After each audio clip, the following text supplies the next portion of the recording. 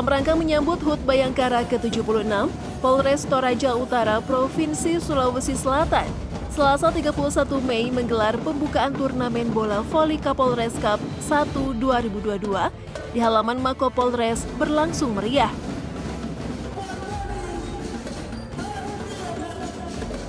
Acara yang dibuka Bupati Toraja Utara Yohanes Basang tersebut diawali dengan penampilan marching band kemudian disusul oleh 18 tim yang akan ikut bertanding dalam turnamen Kapolres Cup.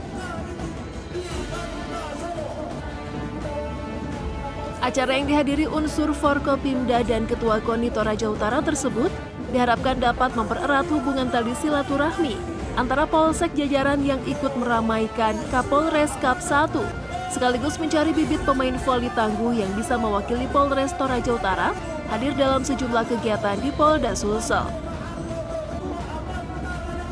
Kapolres Toraja Utara dalam sambutannya mengatakan, jika Kapolres Cup 1 baru pertama kali digelar dan merupakan terobosan baru, Polres Toraja Utara dalam rangka menyambut HUT Bayangkara ke-76. Menyaksikan HUT Bayangkara ke-76 Kapolres berharap turnamen bola voli bisa dengan sukses diselenggarakan dan sekaligus dapat menghibur masyarakat serta menjadi tempat mencari bibit-bibit atlet bola voli yang bisa mewakili kabupaten tampil di luar daerah.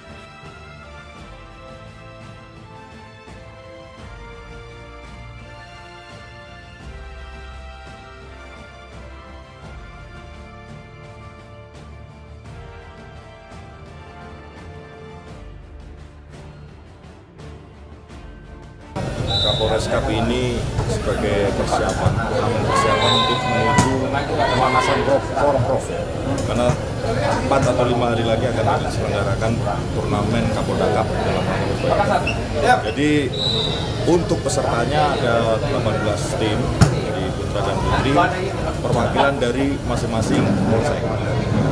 Masing-masing polsek mengkoordinir para pemain-pemain uh, yang mengikuti turnamen ini. Kemudian persyaratan umur tentunya uh, ada. Uh, persyaratan umur di panitia antara umur-umur remaja lah, kategori remaja. Jadi kita setelah ini akan melakukan uh, pertandingan turnamen ke Kapolda Cup Bayangkara untuk pemanasan menuju World dari Toraja Utara, Sulawesi Selatan, tim Jurnal TV mengabarkan.